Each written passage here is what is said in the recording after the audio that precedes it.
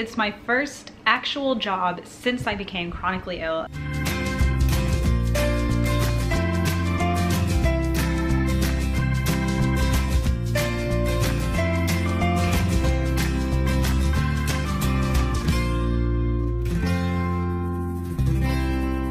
Hey y'all, I have some exciting news to share. News that I am just thrilled about and so proud of.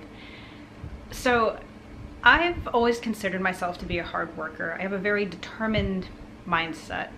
But the past few years, a lot of my efforts and time and energy has gone into working hard for my body to improve my health, which can be time consuming and exhausting, but so worth it. And within the past few months, I have made great strides. I am so grateful. You know, we've started new treatments that have brought progress and improvements, and I now have more stability in my health. There are still hard times, there are good times, but overall, I feel stronger and I, am doing better. And because of that, an amazing opportunity presented itself, and I got a job. I am very happy about this. It's my first actual job since I became chronically ill at the age of 15, or had symptoms my entire life. So I should probably say since before my chronic illnesses came to the forefront around age 15. In the past few years, there have been times with my health where it's consuming just to manage to get through the day, control symptoms, try and have some semblance of a quality of life. And I am going to college. I am getting a degree in communications. By the way, my spring semester starts January 7th. And of course, after I obtained that degree, I had aspirations to put it to use. You know, one of my goals is to have a career that I feel productive in, that I'm proud of, that I enjoy. But I've had to come to terms with times where I've had to take an entire year off school because my health just was a priority. And health is always a priority, but what I'm trying to say is I've worked so hard for this stability and now other opportunities are opening to me and this is one of them. So it's a very, very part-time job. I am handling the social media for a local business. Um, since it is a local business, I'm not gonna give the name just because of safety, privacy. We don't want to disclose our exact location, but it's a local family owned business in Tampa Bay and I'm doing their social media for them. And it's a business that I actually frequented. They didn't have a position open per se, but I looked through their social media and I was like, y'all haven't posted in several months. Do you want someone to do this for you? And then they were interested and I said, okay. They know me and I was like, you know about my health struggles. So it could be kind of tricky for me to add a job into the other things I need to do in life, not just with my health, but you know, school and home and family and church and all that. So I said, let me do it on a trial basis. And so I trialed it for a few weeks. It's going really well. Then they hired me on and, and started to pay me and it works out so well because even when I'm not feeling well, I can post from home and I need to go into the business a few times a week on my own time to get photos and such, but it just works perfectly. Um, if I'm in the hospital, I can do it as long as I have content, if I am home not feeling well, if I have a lot of stuff for school or church, or if we travel like to Orlando, I can keep up with it. And it's just been, it, it's been awesome. I mean, it's not like a substantial income or anything, but it's just, the best thing about it for me is that I am putting my creativity and you know, this is part of what I'm going to school for, the communications and marketing aspect. I'm, I'm putting that to use and getting experience and I just feel productive and accomplished and I'm I'm very very happy and, and grateful and, and proud. This is honestly a pretty big deal for me, you know, and my, my friends, my family, Judd, they're so happy and, and, and proud because this is kind of like evidence that I am progressing with my health.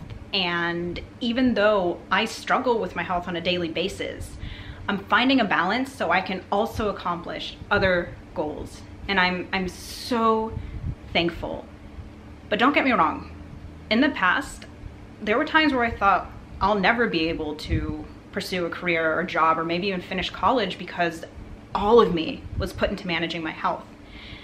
And although I don't think negatively, I know I could end up in a state like that again. You know, health is unpredictable. You could do everything right and things could still go wrong, but I am focusing in the now and that I have stability and better health now and I'm taking advantage and I'm working very part-time. I'm also volunteering at church um, very part-time. I'm continuing my education. I'm just being me, if that makes sense. And if you're struggling at this moment, please know you are not alone. I have been there, others have been there. And it can be very discouraging, and I get discouraged and feel completely disheartened, but I find a way to keep moving forward. I know that's my goal saying keep moving forward, but truly I, I, I live by that. You know, things can be hard, but keep moving. It doesn't matter how slow you go, just keep moving and focusing in the right direction. And I'm just grateful. And I, I wanted to share this with y'all. There are a few specific things that I highly attribute to my improving stabilized health. One, medical marijuana. That's been a game changer. It's really helped with my nausea and vomiting.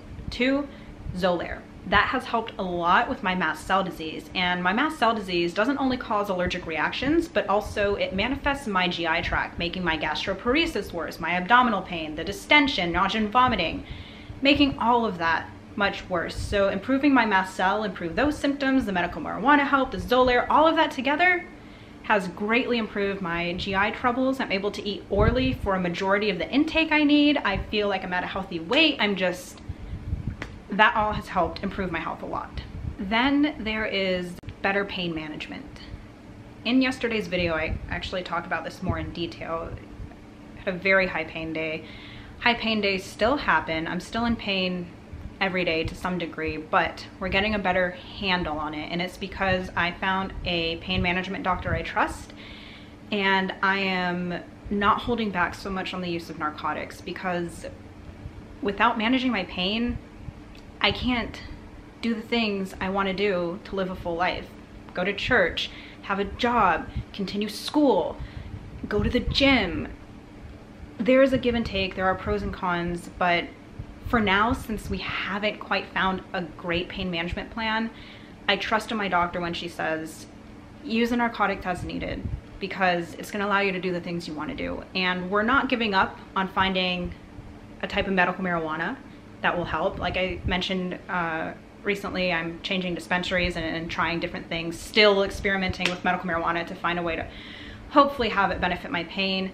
Um, working with my pain management doctor, but like I said in yesterday's video, yes, I need narcotics and I'm not ashamed because it's allowing me to, to live my best life, but hopefully we'll find a better pain management plan and hopefully soon. So medical marijuana, Xolair, pain management, and honestly, I would just say being kind to myself, being patient, and listening to my body when I need to, but also not allowing my illnesses to dictate everything I do and knowing when to push myself. It's just finding that balance, working hard, not giving up.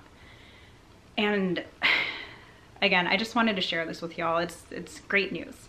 And I'm hoping to continue to make good strides in my health and I'll take the hard days and flare-ups as they come, but I got this. And you got this too with whatever you're struggling with. So wanted to share that with y'all. And with that, I will say goodbye. And thanks for joining us on our adventure.